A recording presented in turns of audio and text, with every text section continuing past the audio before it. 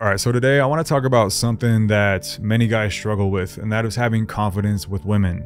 And you've probably heard it a million times that girls like confident guys or, you know, just be confident, bro. But what does that actually mean? Like, how are you supposed to just flip a switch and suddenly be Mr. Confident? It's like telling someone who is broke to, you know, just be rich, bro. It's just not helpful at all. So in this video, I'm going to present to you a completely different approach to building real confidence with women.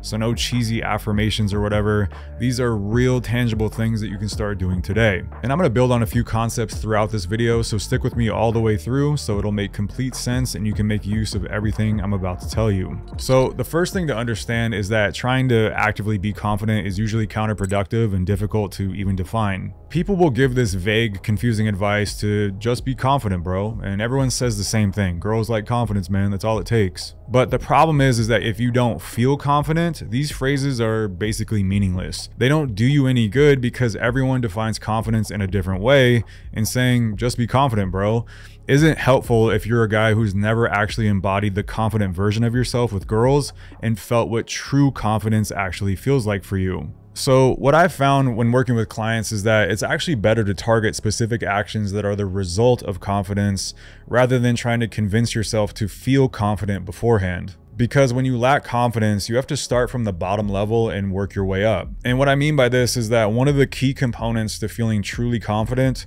is having evidence that you are actually capable of doing the thing repeatedly and consistently. Repeatable results and evidence is where deeper levels of confidence truly sets in. So for example, a UFC champion is confident he can beat anyone's ass because he has evidence that he's beat a lot of people up before. But when you don't have that evidence of being successful with girls yet, you're faced with this problem of having to potentially BS yourself into trying to believe that you're confident while also not being able to actually believe it because you're trying to convince yourself without much evidence to prove to your brain that you're actually capable. So for instance, if you struggle with women and I throw you into a scenario with three hot girls and I tell you to just tell yourself that you're confident, you're not actually going to come across as confident or feel confident. Now, unless you're just a god of mind controlling yourself, you can't just believe and embody that mental state all of a sudden. So we have to do something something else instead that is more tangible because that's what always bothered me when people would say, well, just be confident. I didn't know what the hell that actually meant. But when you shift your focus from mind to body, it starts to make more sense, which leads me to the next point. And that is the idea that confidence is actually something that is demonstrated rather than this magical state that you suddenly embody by trying to think a certain way. So in other words, we typically identify confidence by the behaviors that someone exhibits. So fighters like Mike Tyson and George St. Pierre have admitted to feeling intense fear before fights,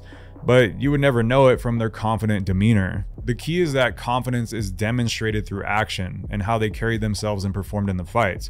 So despite the nerves they felt, their actions built up a track record of success, which then generated evidence of success and confidence over time. So let's bring this back to dating now and think about reverse engineering things. And let's start with traits that a confident guy would display or how a confident guy typically shows up in a real life scenario. The first trait is that a confident guy is usually unapologetic about expressing his thoughts in the moments or his views and values on a subject, because confident guys are typically unfiltered to some degree. And there's a difference between unfiltered and reckless. I don't recommend being reckless and a dickhead to people, but confident guys don't second guess what they're going to say or go into some over analysis mode where they wonder what they should say. They avoid any excessive filtering process and they trust their instincts and fire from the hip. This is why confident guys can also get away with certain things that would be considered simpy or might sound cringy or lame to another guy. It's not about the specific words as much as it is about who is delivering those words. So one guy who isn't sure of himself can go up and tell a girl that she's cute and ask for her number and then get completely blown out,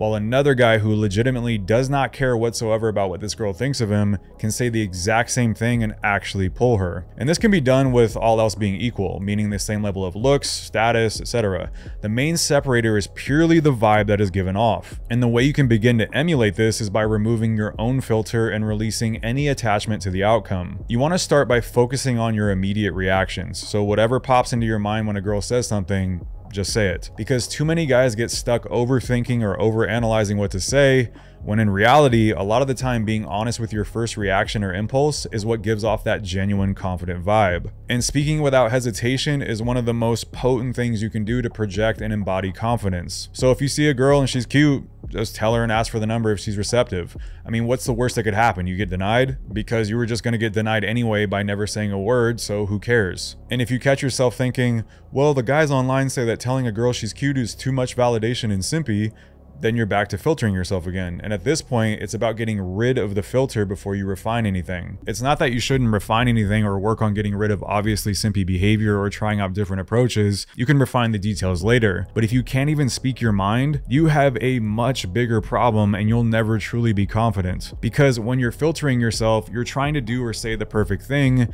And when you're trying to be perfect, you just come off boring and lacking authenticity, which kills the impression of confidence. The idea is to begin exercising the ability to just speak in an unfiltered way because that projects confidence rather than having to embody this magical mindset where you just suddenly feel sure of yourself because that is not going to come before the action itself. The action and the process of practicing being unfiltered is what is going to create deeper levels of confidence over time. And if you're a guy that is severely in his head all the time, then start with smaller things here and there, like genuinely commenting on a simple observation or a small thought that pops into your head during a conversation. And over time, you'll see more positive responses to your unfiltered thoughts and you'll find it easier to express yourself in bolder and more significant ways. Because confidence grows by building these small wins over time. It's not about taking some giant leap all at once and trying to turn into Superman in two seconds. And another way to think about this is thinking about how older people are. And this is also one of the benefits of aging because I'm sure we have all met a guy who is 80 years old and says something very blunt without hesitating even for a second. And the reason why that 80 year old can be blunt without batting an eye is because he doesn't care at all about the outcome or what anyone thinks. He's operating in a purely unfiltered state of being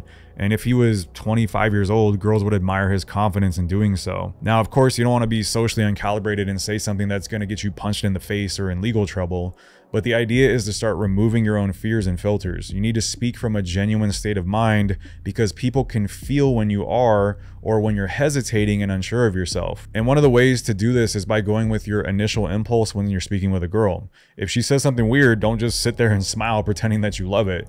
Genuinely express your thoughts. And you don't have to be a dick about it either, but the idea is to stop doing what you think you should do and start doing what you genuinely want to do because that is what creates confidence whether or not someone likes it. And when you stop caring about the outcome and remain authentic, you radiate a sureness about yourself that projects confidence.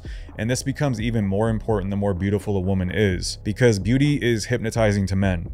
And more often than not, guys will begin to break and filter themselves to try and win the girl over but all you're doing in that scenario is suppressing your confidence because you're trying to be perfect again. Now, another confident trait is to embody being the risk taker and the action taker because you got to be the dude that makes things happen when others won't. And I mean this in the context of being willing to put your balls on the line to go after what you want. And this is yet another thing you can do without feeling confident first, but by doing so repeatedly, you will start to appear confident, but then you will genuinely become confident. And with women, this goes for everything from approaching a girl to physically escalating with her her throughout the entire process. Part of confidence is knowing when and how to escalate things naturally, whether it's moving the conversation forward or asking her out or going for a kiss or anything else beyond that. Escalating the situation shows that you're not afraid to embrace your natural God-given masculinity and pursue what you want. And these small steps, when done consistently, signal an attractive confidence because you're leading things on your terms. And escalation isn't just about getting a number or a date, it's about continually moving things forward to show that you're comfortable taking action. The guys that I work with will often ask questions like, well, how do I get confident enough to ask her back to my place? And the answer is that you don't. You cannot wait until you feel confident. Just take the action that a confident guy would. Invite her back to your place if that's what you want. Because confidence grows when you roll the dice like this without needing everything to feel perfect first. And it's not just about verbally escalating either. Physically leading the interaction gives off an aura of confidence. Even the little things like guiding her to another part of the venue or taking her hand to dance with her, these small actions create a natural flow where you're in the lead and she trusts where you're taking her. And that creates an impression of confidence and the more you do it, the more you actually internalize it to where it just becomes second nature. You don't need to feel confident first, just take those small steps and over time it will start to feel natural. And another way to think about this is it's a lot like getting in shape. You don't wait until you feel motivated to hit the gym, you discipline yourself to go and motivation follows and it's the same deal with confidence. You don't wait until you feel confident to take action. You take the action first, even if you're nervous as hell. You do the things that a confident guy would. You speak up, you make decisions, and you escalate interactions. And at first, it's gonna feel like you're faking it, but your brain will catch up if you keep going. You'll start seeing evidence that you can handle these situations, and then real confidence starts growing because it's built through action. So, for example, if you're used to one caliber of girl and then you have the opportunity to date a higher caliber girl, you may feel uncertain about yourself at some point in that interaction. But again, if you fall back on the actions that you know a confident guy would do, that's the path you can trust, and eventually your internal state catches up with the actions that you take. And another thing I want to mention is that there are other things you can do to refine yourself mentally and work on your internal state, and there's also more things you can do to appear and feel confident, like body language adjustments, tonality, and things like that. But to keep things focused for this video, if you're a guy that leans more toward the nice guy or timid end of the spectrum, focusing on the action element at first will get you way further than trying to pump yourself up with affirmations that you don't even believe anyway. And another thing is that this will also remove pressure and anxiety from your mindset because you won't be struggling to force yourself to feel a certain way. And instead, you will know that the path to take is through tangible action. And of course, there are behavior patterns that might need tweaking or a shift in perspective because confidence is a process with many moving parts. And mastering it goes just beyond mindset. It's about how you show up in every aspect of your life.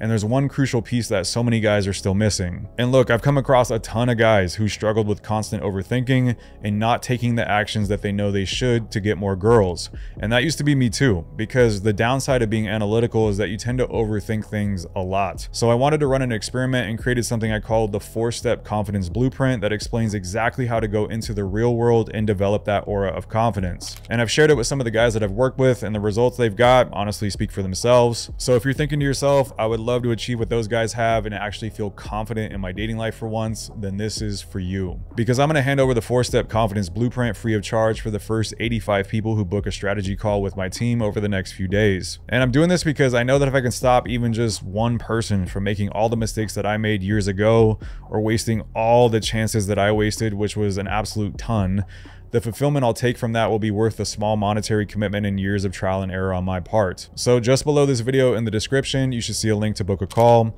I want you to click that button right now, book in a call with my team, and on the call, you'll receive the confidence blueprint, and my guys will walk you through each step that you need to level up your dating life and take it to the next level with my personal guidance. And honestly, all of this isn't as hard as some people out there want you to believe. It just takes the right plan and the right approach. And the minute you see the blueprint, you'll see exactly what I mean. So be sure to check it out, and I will see you in the next one.